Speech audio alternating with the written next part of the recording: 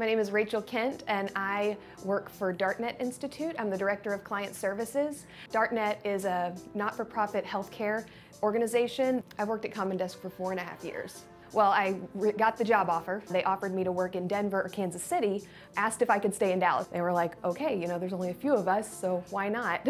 they said, oh, well, you'll just work from home like the rest of us.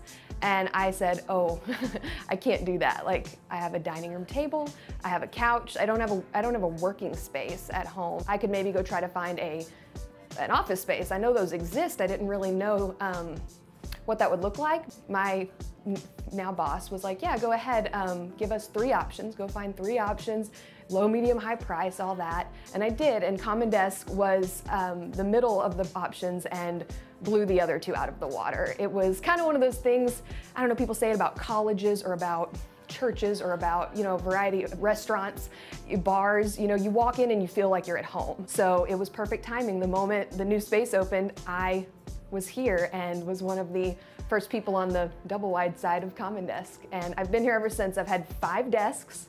Now I have a premium desk up at the window um, facing commerce. It's awesome. Favorite thing, hands down, bar none, the treadmill desk. I can do most types of work on the treadmill desk. It's pretty impressive and at a pretty good clip.